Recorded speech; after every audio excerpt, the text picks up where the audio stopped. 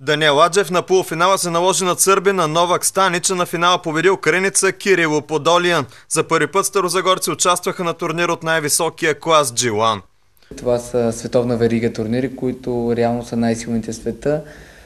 Дават точки за Олимпиадата. По, точно по тези турнири се прави после критерия. Там е критерия. Кои 16 състезатели ще бъдат допуснати за Олимпиада.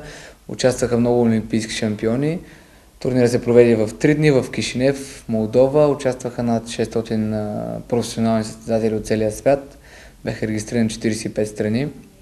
Ние участвахме с двама наши състезатели, Даниел Ладжев и Валентин Желев. Даниел се представи страхотно, успя да победи в четирите си срещи, в три от които, е в три от които с голяма точкова разлика и да откаже своите противници и така завоюва златен медал. То медал беше първия за нас медал от такъв ранг и то при кадети и сме много горди с този успех. Валентин също игра достойно, но падна минимално от национала на Финландия, който в последствие стана шампион в категорията. Така че той беше близо до, до медалите, отпадна на четвъртфинала. На турнир за деца в Албания европейският шампион Павел Бояджиев спечели златен медал. Павел спечели безпроблемно категория до 30 кг в Албания и за нас това е един страхотен уикенд.